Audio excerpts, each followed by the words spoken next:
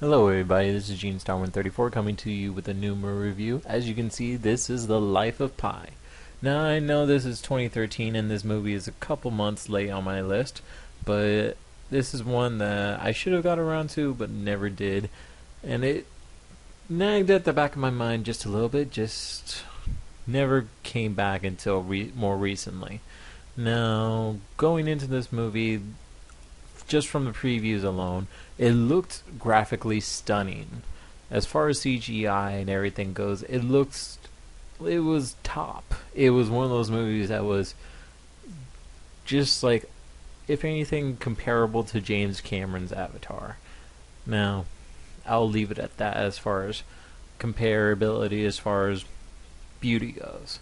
Now, the story is about a young man named Pi Patel who, well, originally the story starts as him telling of his story to another man who uh, who's an author who out of nowhere just gives up and wants to again realize why there is the things that happen. It, it, I don't want to go semi-religious on it, but the best way to say is his Pi's uncle tells him uh, this man that he will believe in God after he sees it.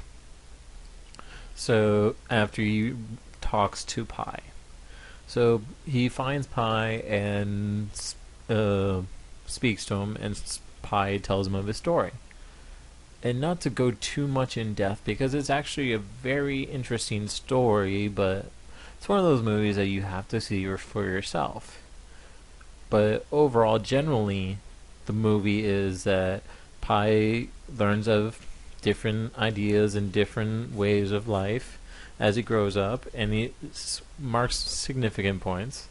And then he goes on, finds the major turning point of his life is that his parents, who own a zoo, decide they're going to move to well, Canada, which is where Pi lives currently.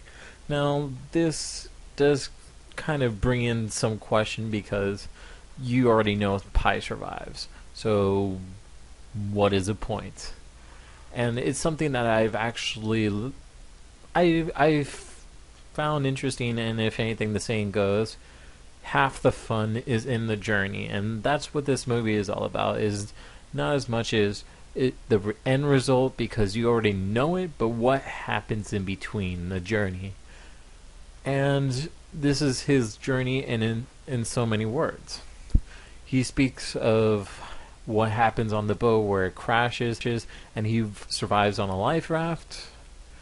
And I can't, again, go into too many details without ruining it for you, but what you do, what you do know is that just from the previews alone is that he now is not the only one on the raft. There is a 500 pound Bengal tiger with him. And so he must survive being at sea on technically on a life raft with this tiger. Question is what happens? And from there I will give you the basic review and won't ruin the movie for you if you actually choose to see it. So as the story goes, you get a very very detailed story. I can honestly say that. I mean, as something that expands for what was actually turned out to be a almost a year experience for Pi is shown down into two hours, and that's not bad at all. If anything, it, it's fairly condensed, but still has its main points, and the only thing I can honestly say that lacks is pacing. There's one. It's it's pretty much it flatlines for a good portion of the movie, and then when you finally feel like you've had enough, that's when it hits you. And I can say that it is can't say a breath of fresh air, but something interesting that really does stand out in my mind.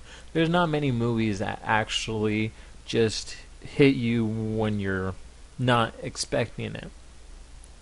I mean, of course, it had its ups and downs, some predictability to it, but what really surprises you is the mild things that really you just couldn't see coming. I mean, short of the previews, which show a lot of the action, a lot of the over the top drama that happens in the movie, the pacing allows for some breathability, some realism that comes into the character, even though the story is hardly believable. Again, not to ruin too much, but it works. Again, pacing works for itself, and it doesn't. It, it's one of those ones that kind of dumbfounds me. And I can say that, if anything, I liked it and I didn't simply because, as a product of the newer generation, it's hard to watch a movie and not expect action every 30 seconds.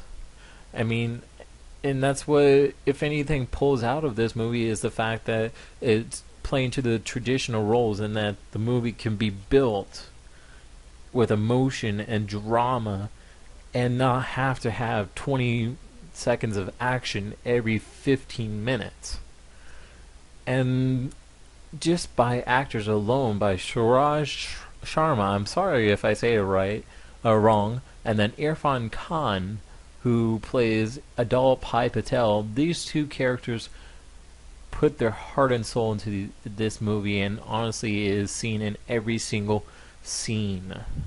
So even as a movie, if it was not worthwhile, is something that I would say, just for the sake of suggesting it, is one of my all-time favorites. I mean, there were times where even my patience was tested, but what can I say?